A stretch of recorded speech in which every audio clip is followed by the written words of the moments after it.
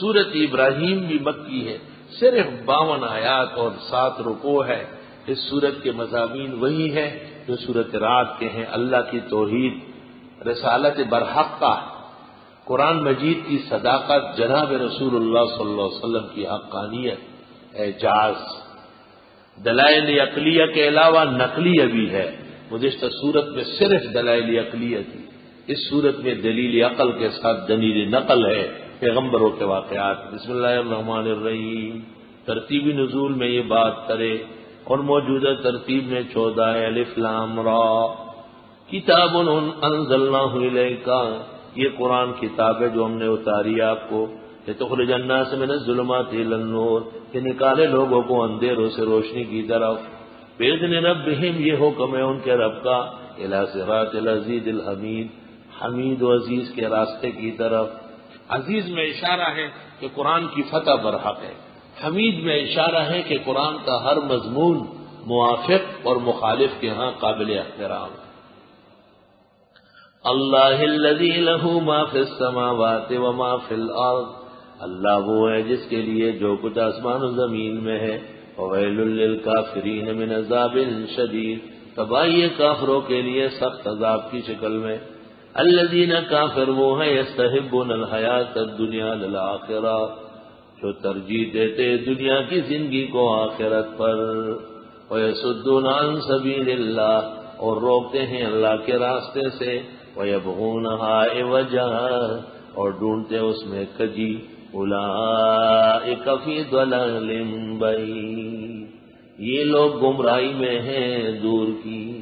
وما ارسلنا من رسول الا بلسان قومی نہیں بے جام نے کوئی پیغمبر مگر قوم کی لغت میں۔ ہمارے رسول صلی اللہ علیہ وسلم کی قوم عربی ہے اور ہم حضرت کی قوم نئی امت ہے۔ اس لیے ہماری بولی پشتو ہو، اردو ہو، مکرانی ہو، بلوچی ہو، پنجابی ہو، یہ امت کی زبان ہے۔ قوم آپ کا صرف عرب ہے۔ مرزا غلام محمد نے کہا، میرے آنے کی ضرورت خدا کو اس لیے پیش آئی کہ رسول اللہ صلی اللہ علیہ وسلم کو اردو نہیں آتی۔ اور ہندوستان والوں کو یہ بڑا حق تھا کہ ان کے لیے پیغمبر آ جائے، ایک پختون بیٹھا ہوا تھا۔ اس نے کہا، ہندوستان کہاں سے شروع ہوتا ہے، کہاں ختم ہوتا ہے؟ اس نے کہا، برما اور انگور سے شروع ہوا ہے اور پشاور پہ ختم ہے۔ اس نے کہا، پشاور والوں کی زبان آتی ہے آپ کو۔ اس نے کہا کہ نہیں کہا میرے سامنے کہ نبی نبی نہ بننا جب تک پشتو نہیں آئی مر گیا، لیکن اس کو ایک لفظ پشتوں کا نہیں آیا اللہ نے پشتو زبان اس سے بچائی۔ دیکھیے مرزے کی کتاب سیرت المہدی۔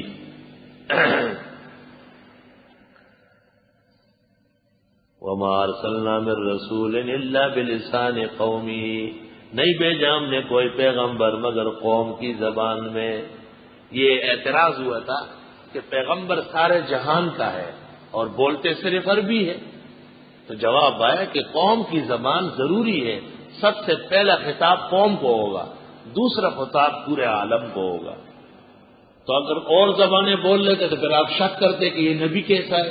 پشتو بول رہے ہیں، پنجابی بول رہے ہیں۔ تو قوم کی زبان بنیاد ہے وہی کی۔ فید البین الحم تاکہ بیان کرے ان کے لیے۔ فید اللہ میشا ویہدی ویشا بس بٹکاتے اللہ جس کو چاہے، ہدایت دیتا ہے جس کو چاہے وہ ولازیز الحکیم۔ اور وہ غالب اور حکمت والے ہیں۔ کیونکہ حضرت عربوں میں تشریف لائے، تو پہلی جماعت ایسی بنی عربوں کی، صحابہ کی، کہ قیامت تک ان سے بہتر لوگ نہیں ہو سکیں گے۔ اہل سنت کا عقیدہ ہے کہ صحابہ انبیاء کے بعد بہترین خلائق۔ صحابہ سب واجب التعظیم ہیں۔ بما معاویہ رضی اللہ تعالیٰ کسی صحابی پر ہر گیری جائز نہیں، حرام ہے۔ ابانا ان اصول تیانہ امام اب الحسن الشری رحم اللہ۔ لیکن پیغمبر جو دین لائے ہیں وہ سب کے لیے ہے تو دیکھو، بخارا سے امام بخاری اٹھے اور نیشاپور سے امام مسلم اٹھے، سمرقند سے، اور ہر ترمز سے امام ترمیزی اٹھے، اور نسا سے نسائی آئے، اور قزوین سے ابن ماجہ نکلے، اور کابل سے امام ابو حنیفہ نکلے۔ یہ عجم میں اتنی صلاحیت اس لیے آئی، امام حفظ امام عاصم اکثر ائمہ قرات تجوید کے اور جن کی خیرات میں قرآن رائے جے وہ کوفی امام کوفہ جم کا حصہ ہے، عراق کا شہر اللہ، ولقد ارسلنا موسا بیاتنا یقیناً ہم نے بھیجا تھا، حضرت موسا کو معجزات دے کر انخرج قوم کا من ظلمات النور، کہ نکالیے اپنے لوگوں کو ظلمتوں سے روشنی کی طرف۔ ہم نے تو حضرت موسا کو بھی بنی اسرائیل کو بچانے کے لیے بھیجا اور آپ نے جاتے ہی فرون کو کہا، ان ارسل مئی بنی اسرائیل.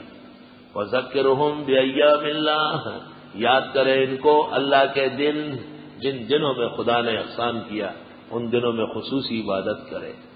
ان نفیزہ نکال آیا تل کل صبار شکور بے شک اس میں آیتیں ہیں ہر صبر کرنے والے، شکر کرنے والے کے لیے۔